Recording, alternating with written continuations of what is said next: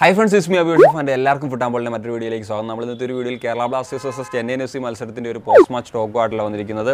നമ്മുടെ ഈ ഒരു മത്സരത്തിൽ നമ്മളെ തോൽവിയിലേക്ക് നയിച്ചിട്ടുള്ള മൂന്ന് മേജർ മിസ്സുകളെ പറ്റിയാണ് നമ്മൾ സംസാരിക്കാൻ പോകുന്നത്.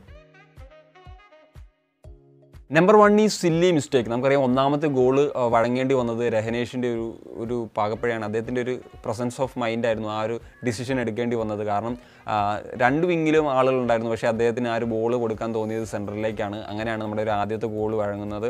അതുപോലെ തന്നെ മൂന്നാമത്തെ ഗോൾ വഴങ്ങുന്നതെന്ന് പറഞ്ഞാൽ നമ്മൾ ഒരു ഓഫ് സൈഡ് ട്രാപ്പ് ആകുമെന്ന് പ്രതീക്ഷിച്ചെടുത്താണ് അവർ ഒന്നാന്തരമായിട്ട് അത് ഭേദിച്ച് ആ ഒരു മൂന്നാമത്തെ ഗോൾ അതും ആ ഒരു ടൈമിലാണ് അതായത് ഫസ്റ്റ് ഹാഫിന് വിസിൽ മുഴങ്ങാൻ വെറും സെക്കൻഡുകൾക്ക് അകലെയാണ് ആ ഒരു ഗോൾ വഴങ്ങുന്നത്.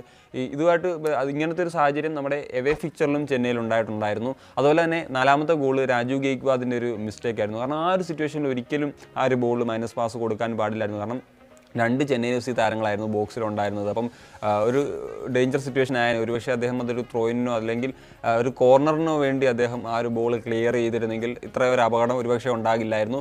എനിവേ നമ്മൾ പിന്നെ പ്ലേയേഴ്സിനെ ക്രിട്ടിസൈസ് ചെയ്യുക എന്നുള്ളത് സർവസാധാരണമുള്ള കാര്യമാണ്. പക്ഷേ എനിക്ക് തോന്നുന്നു ഇപ്പം രഹനേഷിനെ കുറച്ച് അധികമായിട്ട് ഈ ഒരു സിറ്റുവേഷനിൽ നമ്മൾ കുറ്റം പറയുന്ന അല്ലെങ്കിൽ ബ്ലെയിം ചെയ്യുന്ന ഒരു കാര്യം കണ്ടു. പക്ഷേ അത് ഉപേക്ഷിക്കപ്പെടേണ്ട കാര്യം തന്നെയാണ്. കാരണം പ്ലേയേഴ്സിന്റെ ഭാഗത്ത് മിസ്റ്റേക്ക് ഉണ്ടാകും യെസ് പലതവണ ഉണ്ടായിട്ടുണ്ട്. പക്ഷേ അത് ഓവറായി കഴിഞ്ഞ് കഴിഞ്ഞാൽ പ്രത്യേകിച്ച് അദ്ദേഹം ഒരു മലയാളി പ്ലെയർ കൂടിയാണ്. അദ്ദേഹത്തിന് ഈ ഒരു കമൻസും കാര്യങ്ങളൊക്കെ മറ്റു പ്ലേയേഴ്സിനെ വെച്ച് നോക്കുമ്പോൾ കുറച്ചും കൂടി വിസിബിൾ ആണ്. അപ്പോൾ ആ കാര്യങ്ങൾ നിങ്ങളൊന്ന് ശ്രദ്ധിക്കുക. രണ്ടാമത്തെ കാര്യമായി മിസ്സിങ് എ ഡിഫൻസീവ് മിഡ്ഫീൽഡർ നമ്മൾ ഡിഫൻസിനെ അധികമായിട്ട് കുറ്റം പറയുമ്പോൾ പോലും എനിക്ക് തീർച്ചയായിട്ടും മിസ് ചെയ്തത് ഈ ഒരു മത്സരത്തിൽ മിസ് ചെയ്തത് മുഹമ്മദ് മുസ്തഫ നിങ് എന്ന് പറയുന്ന സെൻട്രൽ ഡിഫൻസീവ് മിഡ്ഫീൽഡറാണ് കാരണം സീവലൂൺ എത്തിയിട്ടുള്ള ഒരു സാഹചര്യത്തിൽ തീർച്ചയായിട്ടും നമുക്ക് മുസ്തഫയുടെ ഒരു സേവനം തീർച്ചയായിട്ടും വേണ്ടിയിരുന്നു. കാരണം സീവലൂൺ ഒരു ബോൾ പ്ലേയിങ് മിഡ്ഫീൽഡറാണ് ഒരു അഗ്രഷൻ കാണിക്കുന്ന മുന്നോട്ട് കളിക്കുന്ന ഒരു സെന്റർ ബാക്കാണ്. അപ്പം തീർച്ചയായിട്ടും നമുക്ക് അദ്ദേഹത്തിന്റെ ഒരു ഒരു ആ ഒരു പ്ലേ കളിക്കുമ്പോഴത്തേക്കും ഡിഫൻസിൽ സപ്പോർട്ടായിട്ട് തീർച്ചയായിട്ടും മുസ്തഫയെ പോലൊരു താരം വേണം. പക്ഷേ ജിക്സന്റെ ഭാഗത്തുനിന്ന് അത്ര കണ്ട് ഒരു യങ് പ്ലെയറാണ് അദ്ദേഹത്തെ കുറ്റം പറയാൻ പറ്റത്തില്ല. ആ ഒരു ഇത് കിട്ടിയില്ല. മാത്രമല്ല രാജുവിന് ഒറ്റയ്ക്ക് നിന്ന് പ്രത്യേകിച്ച് ഒന്നും തന്നെ ചെയ്യാനില്ലായിരുന്നു. കാരണം മുസ്തഫ എന്ന് പറയുന്നൊരു പ്ലെയർ ചെന്നൈയിൻ എഫ് സിക്കെതിരെ നമ്മളറിയാം മൂന്നേ എന്ന് പറയുന്ന സ്കൂളാണ് തോറ്റത്. ആ ഒരു മൂന്ന് ഗോളുകളും എവേ ഫിക്ചറിലാണ് കേട്ടോ. നമ്മൾ വഴങ്ങിയത് ഫസ്റ്റ് ഹാഫിലായിരുന്നു അപ്പം മുസ്തഫ വന്നതിന് ശേഷം ആ ഒരു ഗെയിമിലുണ്ടായിരുന്ന ഒരു ചേഞ്ച് നമ്മൾ കണ്ടതാണ്. ആ ഒരു മത്സരത്തിൽ സിവലൂൺ പോലും ഇല്ലായിരുന്നു.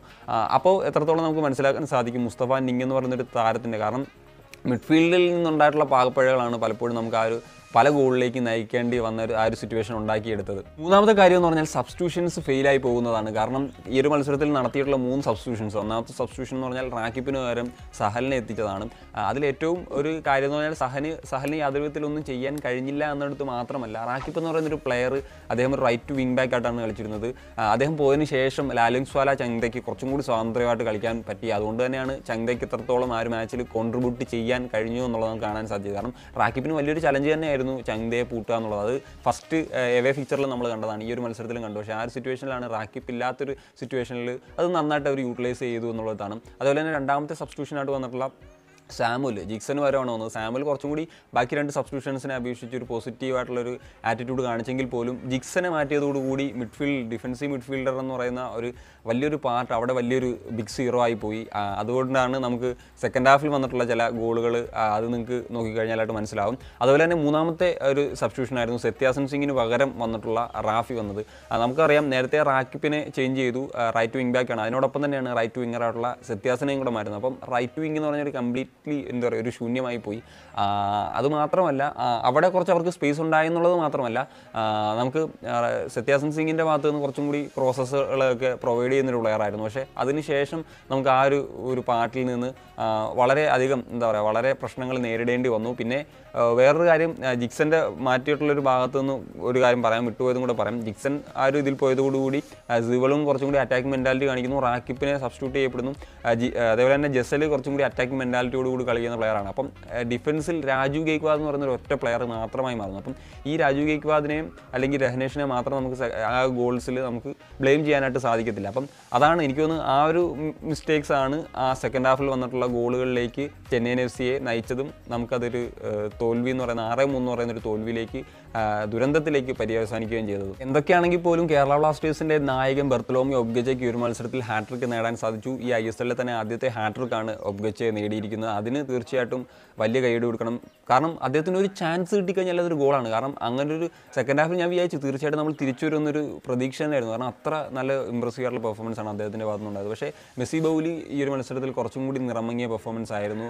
പൊതുവെ അദ്ദേഹത്തിന്റെ കൈവിട്ടുപോയി എന്ന് പറയത്തില്ലേ? അതായിരുന്നു എനിക്ക് മെസ്സി ബൗലിയുടെ ഒരു ബോഡി ലാംഗ്വേജ് അദ്ദേഹത്തിന്റെ കളികളൊക്കെ കാണുമ്പോഴത്തേക്കും തോന്നിയത്. സോ ഇതൊക്കെ പറഞ്ഞുകൊണ്ട് ഈ ഒരു വീഡിയോയുടെ അവസാനിപ്പിക്കുകയാണ്. വീഡിയോ അവസാനിക്കുന്നതിന് മുമ്പ് ഒരു കാര്യം കൂടി പറയാം. നമ്മുടെ വീ ടോക്ക് എന്ന് പറയുന്ന സെഗ്മെന്റിൽ നമ്മുടെ ഈ ഒരു അടുത്ത ഐ എസ് എൽ സീസണിലേക്ക് നമ്മുടെ ഇരുപത്തിയേഴ് ടീം മത്സരങ്ങൾ ഓരോ സീസണിലും വരുന്നു.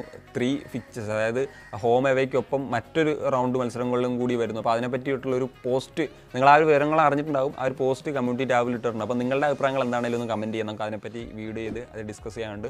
സോ ഇതൊക്കെ പറഞ്ഞുകൊണ്ട് ഒരു വീഡിയോയുടെ അവസാനിപ്പിക്കുകയാണ്. നിങ്ങൾക്ക് വീഡിയോ ഇഷ്ടമായെന്ന് വിശ്വസിക്കുന്നു. ഇഷ്ടമായി തീർച്ചയായിട്ടും ലൈക്ക് ചെയ്യുക. നിങ്ങളുടെ അഭിപ്രായങ്ങൾ എന്താണെങ്കിലും കമന്റ് ആയിട്ട് അപ്പോൾ ചാനൽ സബ്സ്ക്രൈബ് ചെയ്യാത്തവർ എപ്പോഴും പറഞ്ഞാൽ സബ്സ്ക്രൈബ് ചെയ്യാം മറ്റൊരു ദിവസം മറ്റൊരു വീഡിയോ ആയിട്ടാണെന്നുണ്ടെങ്കിൽ ഞാൻ ഇവിടെ വന്ന് ഇറ്റ്സ് ഫാൻ സൈനിങ് ഓഫ്